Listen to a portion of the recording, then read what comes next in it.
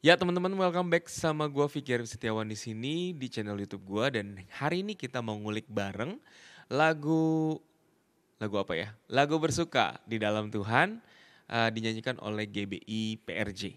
Oke, kita langsung denger aja nanti kita breakdown satu-satu. Yuk. Mainnya di do sama dengan E ya guys. Hari ini Tuhan jadikan untuk setiap kita memuji dan memuliakan nama Tuhan. Oke, kita dengar.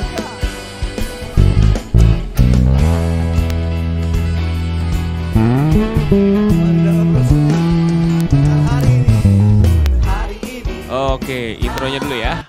Intronya kita ulang, teman-teman. Intronya mainnya simple, eh, bukan simple sih ya. Mainnya agak jalan ya. Di sini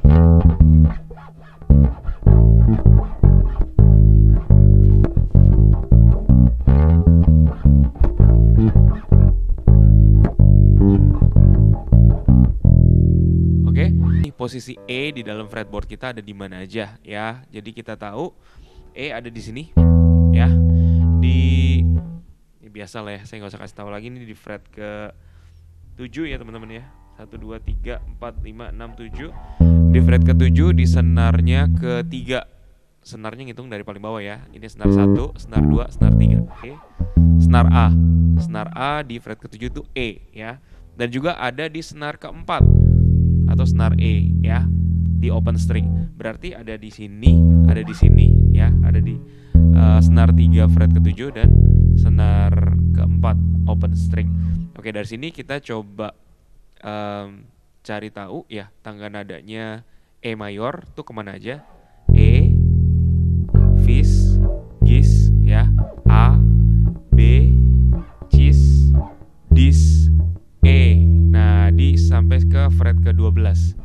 Jadi open string sama fret ke-12 itu adalah nada yang sama. Oke. Lalu kita kalau pakai dua string, string E sama string A ke mana? Berarti E, Fis, Gis, A, A-nya pakai open string A, B, Cis, Dis,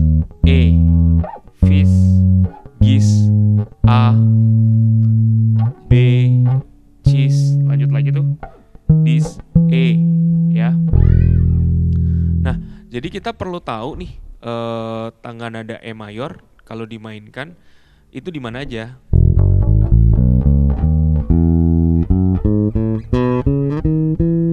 Nah, ini kita perlu tahu nih. Jadi, sewaktu kita mainkan terutama ya lagu seperti ini yang bassline-nya jalan, kita tahu arahnya ke mana-kemana aja, kita harus memainkan nada-nada tersebut ya. Teman-teman ini PR-nya, teman-teman hafalin. Saya nggak akan terlalu panjang lebar di sini, nanti nggak selesai. Ya, oke. Intronya gini teman-teman ya. E e cis, e e dis cis, a a gis fis, gis g, fis gis a b, balik lagi. E e dis cis, a a gis fis,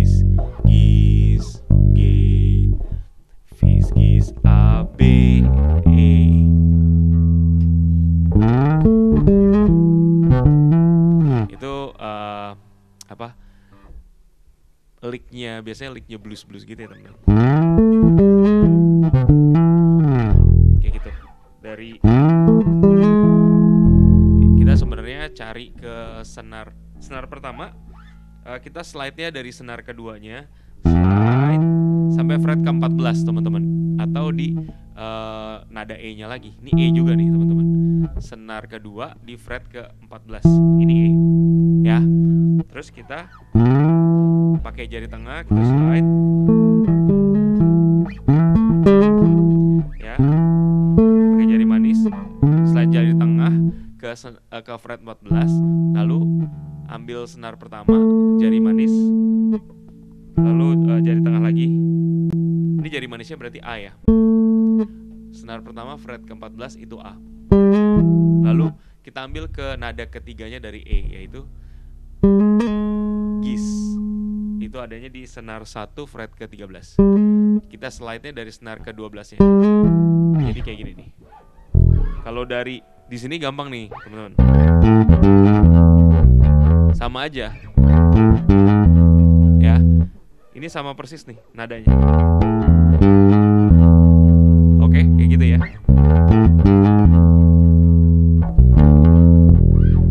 Nah, biasanya tuh licks-licksnya blues ya, teman-teman. Teman-teman nanti eh, kalau nggak ngerti di slowin aja video ini ya. Coba kita mainkan lagi dari awal ya, dari awal kita play along ya. Di rumah Tuhan adalah waktunya untuk kita bersuka cita. Sebab hari ini Tuhan jadikan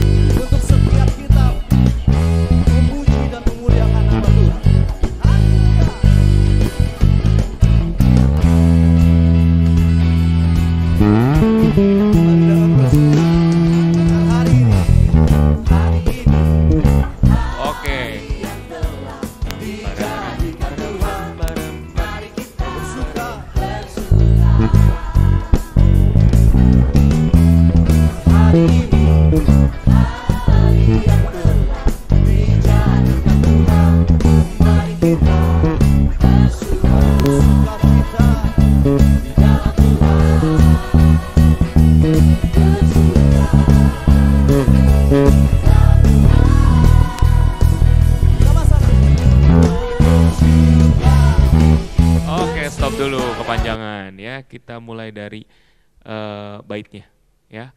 Baitnya teman-teman kayak gini ya. Hari ini gitu. Jadi e e c e e dis e e e dis e dis dis cis b a a gis fis fis gis a b cis dis e e dis dis cis b a a gis fis fis gis a b cis dis e. Nanti saya tulisin tuh di layar ya teman-teman boleh pelanin aja. Oke lalu ber bersuka. Cis ya di dalam Tuhan. Terus ke dis ya bersuka. Lagi cis lagi di dalam Tuhan. Dis lagi. Lalu di sini B cis D eh, B cis E B cis E tapi nggak perlu juga nggak apa-apa sih kalau teman-teman mau ngikut gitu ya coba lagi kita play along hari ini hari ini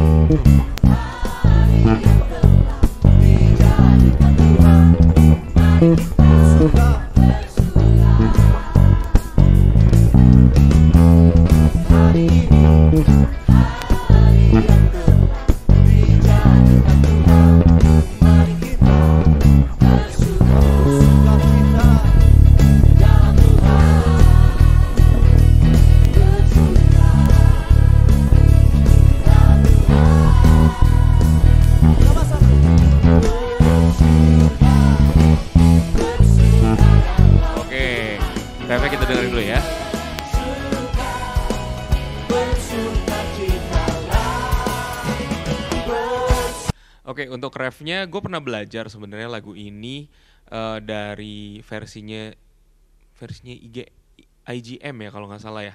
Itu yang jago-jago banget itu teman-teman ya sesepuh sesepuhnya pasti teman-teman tahu lah kalau udah lama eh, berkutat di musik gereja pasti tahu ya eh, siapa itu IGM yang nggak tahu googling aja IGM gitu ya.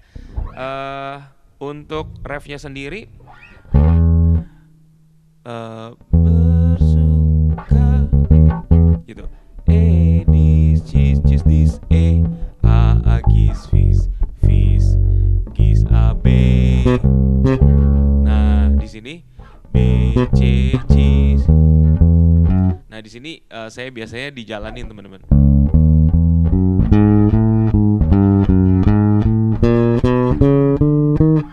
Kayak gitu ya. Udah ngafal jadi teman-teman coba pelan-pelan kayak gini ya Eh, saya ulang dari refnya ya. Ber ber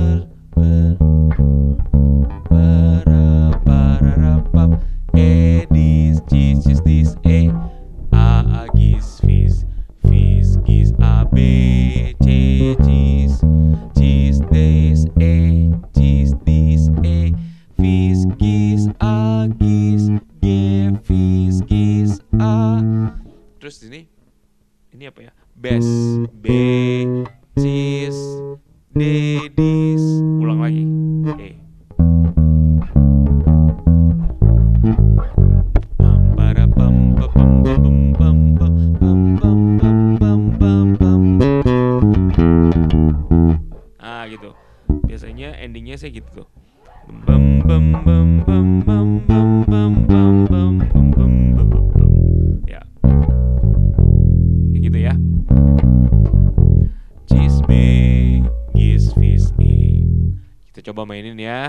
ya refnya. Eh, teman-teman, ini nggak sama persis sama basisnya yang main di sini. So, kalau teman-teman mau ngulik sendiri, nah better gitu loh. Karena menurut saya apa ya bermainlah seperti ciri khasnya teman-teman. Dan kalau saya mainnya begini ya, saya cuman sharing apa yang saya bisa. Oke, kita coba main lagi refnya ya teman-teman ya.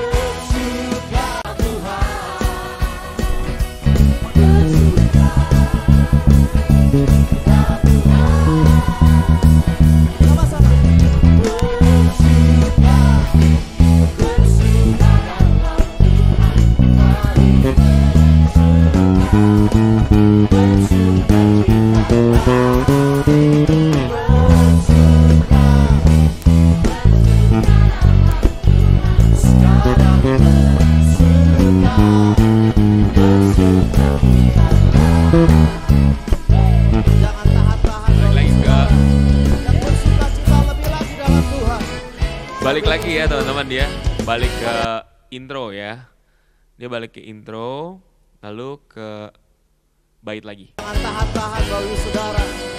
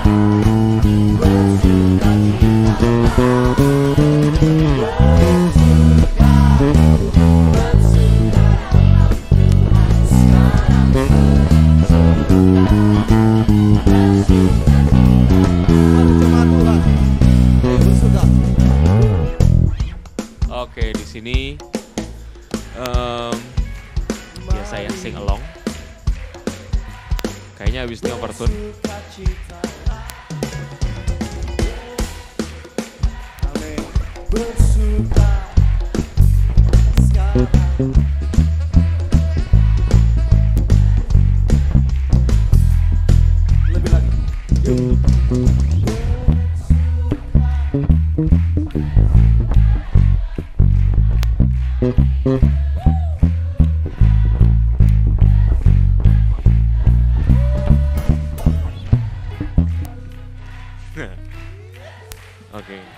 Ada Bro Idon. Halo Bro Idon.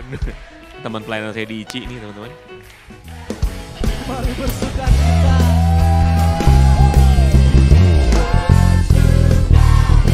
dia modulasi ya teman-teman ya.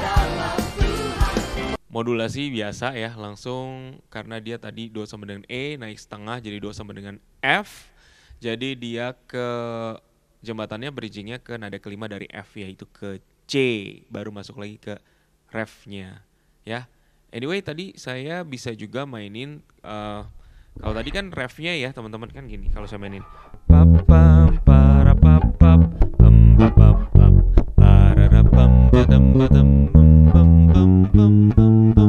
saya naik ke apa register atas ya nada-nada tinggi.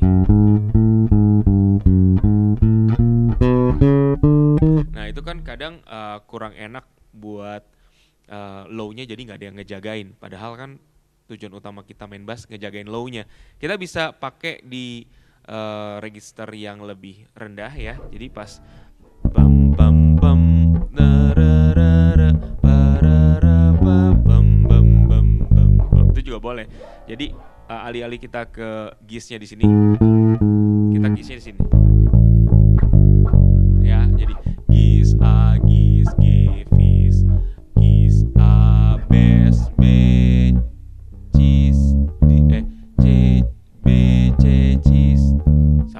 becis dedis nah kayak gitu ya jadi uh, oke okay, kita contohin aja deh di refnya setelah overtone kayak gimana modulasi nah.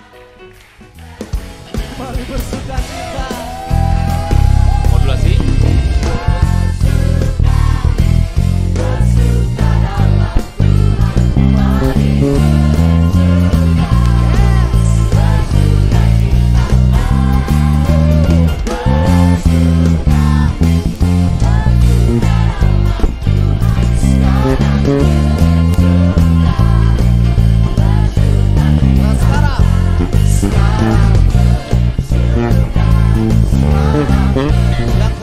Ending ya, ending. Tadi yang di bagian ref waktu overtune-nya, waktu modulasinya udah di F ya. Ber ber Aduh sambil nyanyi. Bersuk Sorry teman-teman ya. Saya pakai 5 senar jadi saya bisa naik ke eh, senar low B saya. Jadi F E D D D E F. Nanti chordnya ada di situ ya. Sebenarnya sama aja kalau teman-teman udah ngafalin em, bagaimana fingeringnya. Kita nggak ngafalin chordnya, tapi kita ngafalin tuh eh, posisi nadanya. Nada satu, nada dua, tiga, tujuh, enam, eh, dan bagaimana kita itu berjalan antar nadanya itu loh. Jadi teman-teman kalau kita di sini sudah mainnya satu tujuh enam enam tujuh satu. Nah kalau ke F ya sama aja satu tujuh enam enam tujuh satu. Jadi asal kita sudah hafal patternnya, eh, kita juga sudah hafal eh, teknik penjariannya. Satu itu di mana, di mana, empat itu di mana, empat coret di mana, lima enam enam coret, tujuh satu. Di chord mana pun kita bisa main Nah, tanpa kita hafalin lagi teman-teman kuncinya ke mana. Tapi kita cuman eh, hafalin ke mana perpindahan chordnya atau ke mana basslines-nya itu eh, berjalannya ke mana aja.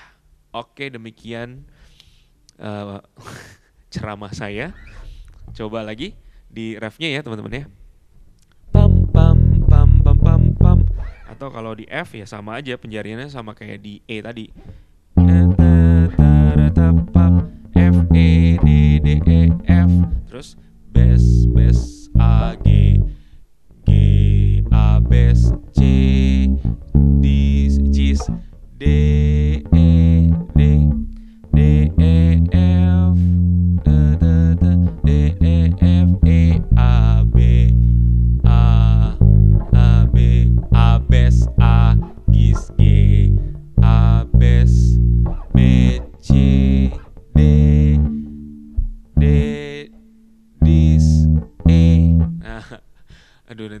kuncinya lihat aja di layar ya saya sambil main aja teman-teman Eh, lalu bagian ending ya saya play sampai ending nanti saya ulang endingnya oke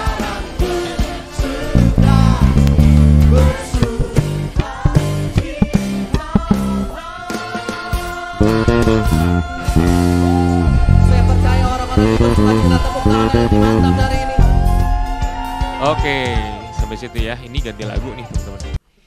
Jadi kita bahas sampai sini aja. Nah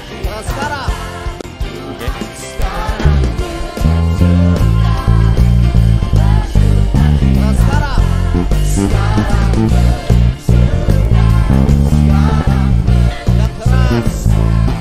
Nah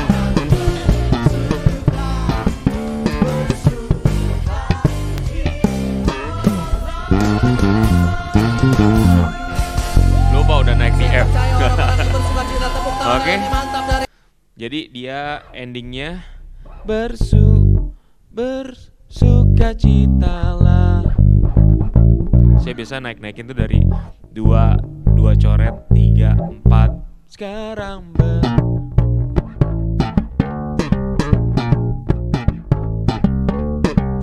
itu cuman empat tiga enam lima empat lagi nggak harus di slap sih teman-teman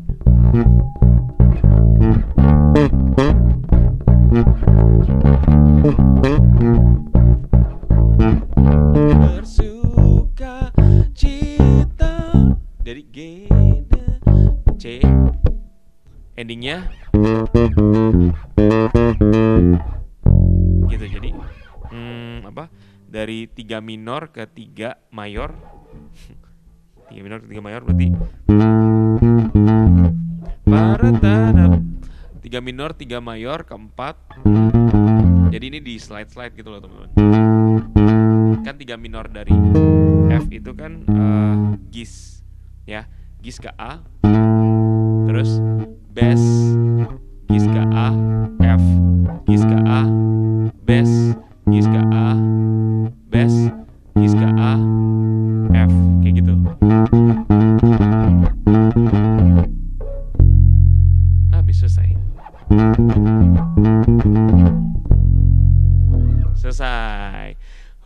akhirnya selesai teman-teman ya. Maaf kalau videonya berantakan. Uh, semoga video tutorial ini bisa membantu teman-teman sekalian. Sorry udah lama nih nggak ngulik bareng teman-teman karena kemarin-kemarin itu uh, saya punya interface dan uh, peralatan audio saya di belakang ini error teman-teman. Saya nggak ngerti gimana caranya tapi udah dibantuin sama teman saya. Jadi coba sekalian kalian komen suaranya udah oke okay atau belum. Oke, sampai di sini dulu. Kalau teman-teman ada lagu lain yang mau dikulik uh, dari gereja mana, gereja mana, boleh. Nanti kita kulik sama-sama. Dan teman-teman boleh bagikan video ini ke teman-teman lainnya yang butuh informasi ini. Jangan lupa like dan subscribe yang belum subscribe supaya channel ini bisa membantu lebih banyak orang lagi di luar sana, teman-teman untuk melayani Tuhan lebih baik lagi. Oke, sampai sini dulu. Gue Vicky pamit undur diri dan see you on the next video. God bless you.